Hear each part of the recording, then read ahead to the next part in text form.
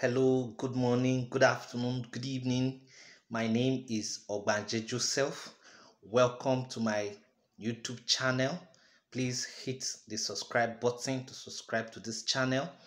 Um, um, today we are going to be looking at how to write objectives of the research. Objectives, objectives. That is objectives of the study. Objectives of the study in a research. Okay, so um every research, you know, the purpose of a research is to discover answers to questions through the application of scientific procedures. You know, you know, the main aim of research is to find out, you know, the truth which is hidden and which has not been discovered yet. Okay, though each research study has its own specific purpose. Okay, we may think of research objectives as falling into a number of following, you know, into a number of uh, groupings. But before we go into groupings, okay, when you know, I need to actually let you know that objectives of the study, you know, are actually formulated based on the problems being investigated. You know, now based on the problems being investigated, students should be able to actually, you know, develop aims for the study as well as specific objectives to be achieved. You know, now the objective of the study must address research problems and it must be measurable. Must be measurable. Must be measurable. It must be accurate, realistic, and timely. So objectives of the study states the main aim and specific objectives that will be accomplished in the study. Okay, it is goal oriented and it emphasizes practical outcomes. You know, this can be written as a general, so, so objectives of the study can be written as general statement of or major objectives or broad objectives of, of broad objective of the study and then split into specific statements of objective. Don't forget that each research question must have a specific statement of objective. So if you have four research questions, you are going to have four research objectives. If you have four, five research research questions, you are going to have five research objectives. Okay, so those are just the major things. Now, research objective actually has you know, has the following groupings. What are the purposes? What is the main reason for research object or objectives of the study? The main reason for the for objectives of the study are, you know, to gain familiarity with a phenomenon or to achieve new insights into, you know, into studies. Okay, you know, to achieve, insights into what you are trying to, uh, you know, uh, what you are trying to research on. Okay. Now, by the time someone picks or a reader picks your research work and looks at your objectives of the study, like I said, specific and general objectives, the person should be able to actually identify or gain familiarity okay with the phenomenon that you are trying to actually you know work on that is number one purpose of objective of the study. The second purpose is to portray accurately the characteristics of you know a particular individual situation or group. Okay, it is actually very important that it is the objective that gives you an accurate characteristics of you know what you are doing. Okay, it gives a view okay? It gives you know it gives a view.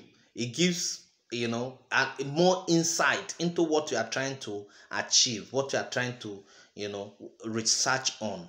Then number three it determines okay? It determines the frequency with which something occurs or with which it is associated with something or something else you know it, it, it is used to determine the frequency with which something occurs and with which it is associated with something else else. Okay, so studies with these object object in view are known as diagnostic research studies. Don't forget that when you are actually looking at objectives of the study, you are looking, you know, it will help you to know whether, you know, how frequent, okay, how frequent something occurs within a particular study that you are carrying out okay? Then the last thing the last purpose of objective of the study is to test a hypothesis of a causal relationship between variables. You know such studies are known you know as hypothesis testing research studies okay? So those are the things. Now every research work like i said from the beginning must have a purpose for which that research work is undertaken. Now the purpose could be a general statement of objective uh, which is then split into specific objectives. Okay so in a research work for example okay uh, for example if i'm doing something on the impact of imf policies on the political economy of nigeria i'm going to have a broad objective which is to examine the impact of to examine the impact of IMF policy on the political economy of Nigeria. And then the specific objectives will be, you know, the specific objectives will, will be that, okay, number one, okay, um, to analyze the impact of IMF on the political economy of Nigeria. Number two, to to uh, investigate, okay, the series of policies that have been that have been um, brought handed down to the Nigerian government by the IMF. Number three, to look at the challenges. No, to um, to to evaluate the challenges that have bedeviled the Nigerian political economy. You know, uh, uh, as a result of IMF intervention in the Nigerian political economy. Then number four, you know, to look at ways, you know, or to analyze the ways in which the challenges bedeviling the political economy of Nigeria can be ameliorated. Now, what I've just said is that if you have four research questions, you're going to have four objectives of the study. If you have five, you're going to have five. Now, there are certain opening um, words that can be used, okay, when you are writing your objectives of the study.